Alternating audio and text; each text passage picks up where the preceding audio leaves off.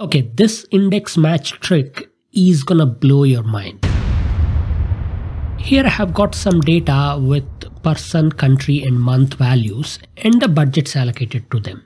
Given that I want to find out what is the budget for Gigi Bowling in Australia for the month of April 2023, the way to do this is because we have got these each of them going into separate columns, I'll have to go scroll down, find Gigi, and then find Australia, April 2023, and then get the 130 as the value. And we can use this incredible ultimate index match trick to get the answer.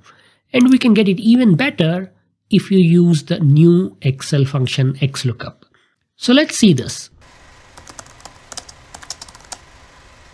We start by saying index and pick the column with our values. So values go from F10 to F369. This is the budget column that we would like to get. And then we're going to say match. Here is the fun part. You're going to match with one and then open bracket. And for each of the columns, so we have got person column. So select the entire column is equal to the person criteria. We multiply this with you can use the star to multiply.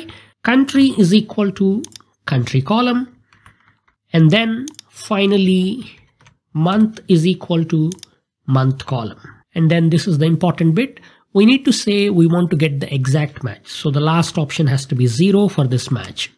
And once you do this, you just have to close all the brackets and press Control Shift Enter. And boom, you get the answer as 130. Here we can see that from our data, Gigi Bowling Australia April 2023, the value is indeed 130. Let's see what happens if I change this to May 2023. We will get 90, just the way it is in the data. So how does this work? This internal bit here evaluates to a bunch of zeros and ones.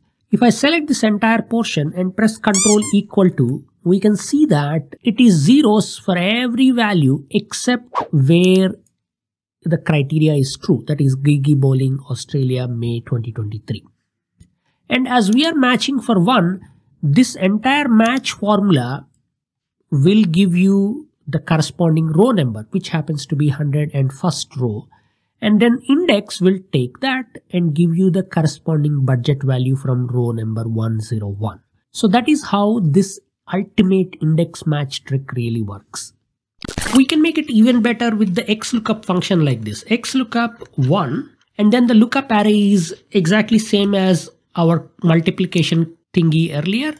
So we have all of these values and the return array is my budget column. So I'll select F10 to F369 and we don't have to specify exact match or anything because that is the default for XLOOKUP and you also don't have to press Ctrl Shift Enter. You just type this and hit enter and we'll get the same answer as before 90 but with XLOOKUP. How awesome is this trick? If you do want to learn a little bit more about XLOOKUP which can do many other cool things, check out the video that shows up on the screen. I'll catch you there. Bye.